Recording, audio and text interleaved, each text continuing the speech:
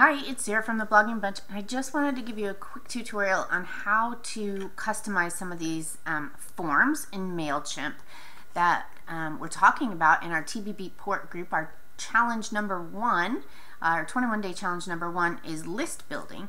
And so you have, um, when you sign up, you've got these different um, different parts of your MailChimp account. And we want to go to lists.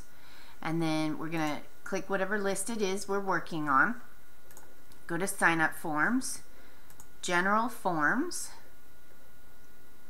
and then um, I can customize my form here.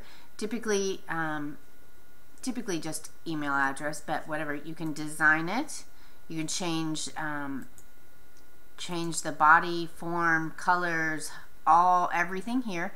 That's what you want to do um, to make it a little more um, personal.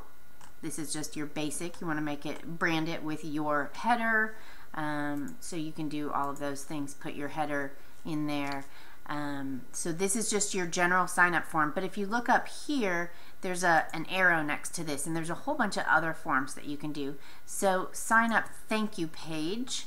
Um, we want to change we want to design this sign up thank you page and this is what after they sign up then they get sent this email that they need to click to confirm um, that they want to do this kind of a double opt-in is what it's called. And so you can again you want to make it um, brand it with your site. And then tomorrow on day five we are going to um, go to the confirmation thank you page. And um, again you this is the the last email that they get. Thank you for subscribing. But you can also add things. If you've said you know if you sign up you get a free um, report or free recipe or free whatever. You can add that in to this page also. Um, you can edit it right? And you can put your um, free report in here. Free